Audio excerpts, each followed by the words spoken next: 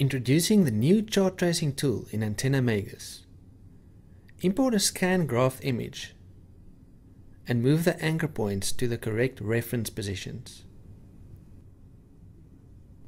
Rotate the image to make sure it is level. Specify the XY anchor values and trace the graph by simply clicking with the mouse pointer. Note how I can zoom in to make sure I capture all the detail.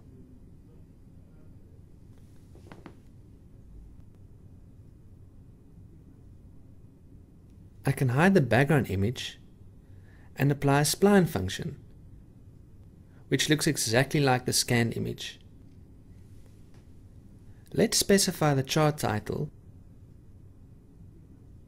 label the axes, and export the XY data to a tab separated values file. This tool is simple to use and it's freely available in Antenna Magus evaluation version, which can be downloaded from www.antennamagus.com.